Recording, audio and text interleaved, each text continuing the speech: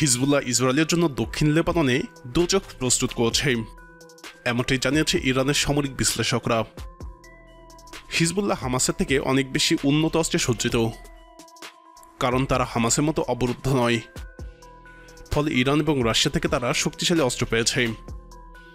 Israel দক্ষিণ লেবাননের স্থল আক্রমণের পরিকল্পনা করছে এমন প্রতিবেদনের বিষয়ে মন্তব্য করতে গিয়ে তেহরান বিশ্ববিদ্যালয়ের রাজনৈতিক বিশ্লেষক এবং অধ্যাপক সায়েদ মোহাম্মদ বারান্দি বলেন, হিজবুল্লাহ দক্ষিণ এবং মধ্য লেবানন জুড়ে হাজার হাজার কিলোমিটার ভূগর্ভস্থ সুড়ঙ্গ রয়েছে এবং খুব সম্ভবত উত্তর লেবাননের কিছু অংশেও রয়েছে, যা খুবই উন্নত।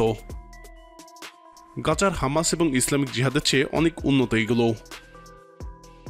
মারান্দি আত্মবিশ্বাসের সাথে বলেন, হিজবুল্লাহ অনেক ভালো এবং উন্নত অস্ত্র রয়েছে, কারণ লেবানন গাজার মতো অবরুদ্ধ ছিল না।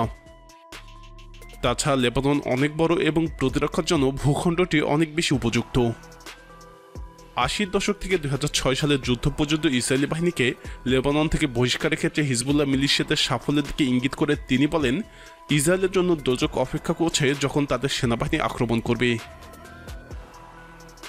সাইদ হাসান নাসুল্লাহ মৃত্যু একটি বিশাল ক্ষতি হিসেবে চিহ্নিত করে মারান্দি বলেন যে, তার হত্যাকাণ্ড কেবল হিজবুল এবং প্রতিরোধকে পুনরায় সংগঠিত এবং আরও কঠোর আঘাত করতে উদ্দীপ্ত করবে তিনি বলেন, এই আন্দোলন সাম্রাজ্যবাদের বিরুদ্ধে, ঔপনিবেশিকের বিরুদ্ধে, বৈষম্য এবং গণহত্যার বিরুদ্ধে।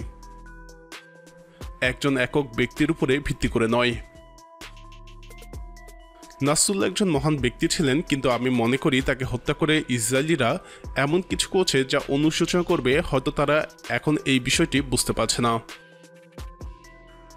এই পর্যবেক্ষকের মতে, ইসরায়েলের প্রধানমন্ত্রী বেঞ্জামিন নেতানিহুর কৌশলগুলো এবং তার পদক্ষেপগুলো তার ব্যক্তিত্বর হতাশার লক্ষণ। তার ব্যাপারে মারানজি সংক্ষেপে বলেন, আমি মনে করি সম্ভবত লেবাননে একটি ইসরায়েলি স্থল আক্রমণ হবে, কারণ নেতানিয়াহুর আত্মরক্ষার জন্য একটি যুদ্ধ প্রয়োজন। লেবানন সীমান্ত এবং গাজায় যে সমস্ত ফ্রন্ট ব্যর্থ হচ্ছে, গাজার মতো একটি ছোট ভূখণ্ড এক বছর পরও সে দখল করতে ব্যর্থ হয়েছে সে পশ্চিম তীরেও ব্যর্থ হয়েছে সে লোহিত সাগরেও ব্যর্থ হয়েছে তার পক্ষে লড়াই করা আমেরিকানরাও সফল হয়নি। সে সিরিয়া এবং ইরাকেও ব্যর্থ হয়েছে এসব ব্যর্থতা ঢাকার জন্য তাকে যুদ্ধ চালিয়ে যেতে হবে, কেননা দীর্ঘমেয়াদে এই স্থিতাবস্থার জন্য তা বিপজ্জনক। তাই তার নিজের সক্ষমতা এবং নিরাপত্তার জন্য তাকে যুদ্ধের উত্তাপ বাড়াতেই হবে। ইরানের ইসলামী বিপ্লবীকারী বাহিনী বা আইএসএ কুডস ফোর্সের commander brigadier general Ismail Qaani বলেছেন, ফিলিস্তিন এবং পবিত্র আল কুডস মুক্ত না হওয়া পর্যন্ত ইরান লেবাননের প্রতিরোধ আন্দোলন হিজবুল্লাহ পাশেই থাকবে। গত শুক্রবার আমেরিকার সভা করা বাংকার বাস্টে বোমা ব্যবহার করে ইসরায়েল, লেবাননের রাজধানী বৈরুতে দক্ষিণাঞ্চলে বিমান হামলা চালায়।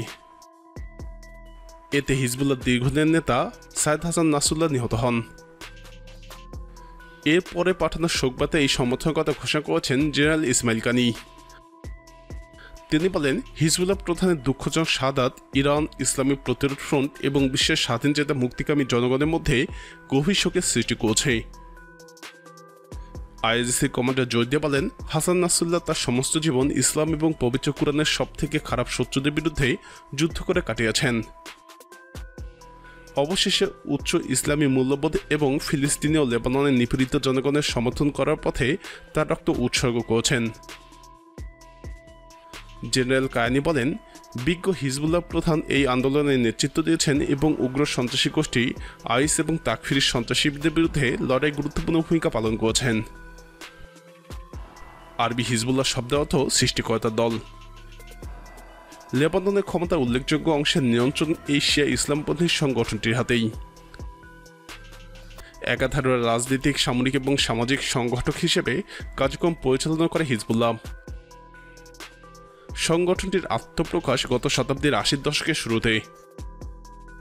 সে সময় লেবানন ইসরায়েলের দখলদারিত্বের সম্মুখীন হয়েছিল। তবে এর আদর্শিক বীজ বপন হয় আরও আগে, ষাট এবং সত্তরের দশকে লেবাননের শিয়া ইসলামিক পুনর্জাগরণের দিনগুলোতেই দুই হাজার সালে ইসরায়েলের সেনা প্রত্যাহার করে নিলে হিজবুল্লাহ উপর নিরস্ত্রীকরণের জন্য চাপ বাড়তে থাকে। তারা সেই চাপ প্রতিহত করে সামরিক শাখা ইসলামিক রেজিস্ট্যান্সের সক্ষমতা বৃদ্ধি কাজ চালিয়ে যায়। কোনো কোনো দিক থেকে লেবানিস সেনাবাহিনীকেও ছাড়িয়ে দেয় তারা। যা প্রমাণ মিলে দুই হাজার ছয় সালে ইসরায়েলের বিরুদ্ধে যুদ্ধের সময়। পর্যায়ক্রমে লেবাননের রাজনৈতিক ব্যবস্থায় গুরুত্বপূর্ণ কুশীলভ হয়ে ওঠে হিজবুল্লাহ। এমনকি মন্ত্রী পরিষদে ভেটো দেওয়ার ক্ষমতাও তারা বাগিয়ে নিতে সক্ষম হয়। ইহুদি এবং ইসরায়েলি লক্ষ্যবস্তুতে বোমা হামলা এবং নাশকতার অভিযোগ আছে হিজবুল্লার বিরুদ্ধে। পশ্চিমা রাষ্ট্র, ইসরায়েল, আরব লীগ এবং আরব দেশগুলো তাদেরকে সন্ত্রাসী সংগঠক হিসেবে দেখে। কোনো কোনো লেবানিজও হিজবুল্লাহকে দেশে স্থিতিশীলতার জন্য একটি হুমকি মনে করে। কিন্তু শিয়া সম্প্রদায়ের মধ্যে সংগঠনটি ব্যাপক জনপ্রিয়তা রয়েছে। হিজবুল্লাহ প্রতিষ্ঠার দিনক্ষণ সুনির্দিষ্টভাবে বলা কঠিন। উনিশশো বিরাশি সালে ফিলিস্তিনের সশস্ত্র গোষ্ঠীর আক্রমণের প্রতিক্রিয়ায় দক্ষিণ লেবাননে পাল্টা আক্রমণ চালায় ইসরায়েল। সে সময় লেবাননের প্রভাবশালী রাজনৈতিক সংগঠন আমল মুভমেন্ট থেকে সশস্ত্র লড়াই বেশি আগ্রহী এমন একটি অংশ বেরিয়ে যায়। ইসলামিক আমাল নামে নতুন একটি সংগঠন গড়ে তোলে তারা। নতুন সংগঠনটি ইরানের রেভলিউশনারি গার্ডের থেকে উল্লেখযোগ্য সামরিক এবং সাংগঠনিক সহায়তা পায়। ফলশ্রুতিতে তারা সবথেকে কার্যকরী শিয়া সশস্ত্র গোষ্ঠী হিসেবে আত্মপ্রকাশ করে, যাদের হাতে পরবর্তীতে হিজবুল্লাহ গঠিত হয়। উনিশশো পঁচাশি সালে একটি খোলা চিঠি প্রকাশ করে আনুষ্ঠানিকভাবে নিজেদের উপস্থিতি জানান দেয় হিজবুল্লাহ। চিঠিতে আমেরিকাকে ইসলামী মূল শত্রু বলে চিহ্নিত করে তারা। একই সাথে ইসরায়েল মুসলিমদের ভূমি দখল করছে বলেও মন্তব্য করে দেশটিকে ধ্বংস করার ডাকও দেওয়া হয় চিঠিতে। জোর করে চাপিয়ে না দিয়ে মানুষকে অবাধ এবং প্রত্যক্ষ নির্বাচনের মাধ্যমে ইসলামিক ব্যবস্থা গ্রহণের আহ্বান জানিয়েছে সংগঠনটি। লেবাননে যুদ্ধের অবসান এবং রাজনৈতিক স্থিতির অবস্থা ফিরিয়ে আনার উদ্দেশ্যে উনিশশো সালে টাইফ চুক্তি স্বাক্ষরিত হয়। চুক্তি অনুযায়ী সশস্ত্র সংগঠনগুলো নিরস্ত্রীকরণের প্রকল্পে হিজবুল্লাহ তাদের সামরিক শাখাকে ইসলামিক রেজিস্ট্যান্স, অর্থাৎ ইসলামিক প্রতিরোধ নামে রিব্র্যান্ড বা নতুন রূপায়ণ করে। ইসরায়েলের দখলদারিত্বের অবসান ঘটানোর জন্য ইসলামিক রেজিস্ট্যান্স নিবেদিত বলে জানানো হয়। ফলে নিজেদের অস্ত্রশস্ত্র সমর্পণ না করে রেখে দেওয়ার সুযোগ পায় তারা। প্রিয় দর্শক দক্ষিণ লেবাননের যুদ্ধে কি ঘটতে যাচ্ছে বলে আপনি মনে করেন? আপনার মতামত কমেন্টে জানান। হিজবুল্লাহ এবং ইসরায়েলকে নিয়ে আরও জানতে আমাদের চ্যানেলটি ভিডিও ট্যাব থেকে ঘুরে আসুন। এই ভিডিওটি ভালো লাগলে লাইক বাটনে ক্লিক করুন। ভিডিওটি আপনার বন্ধুদের সাথে শেয়ার করে তাদেরকেও ভিডিওটি দেখার সুযোগ করে দিন।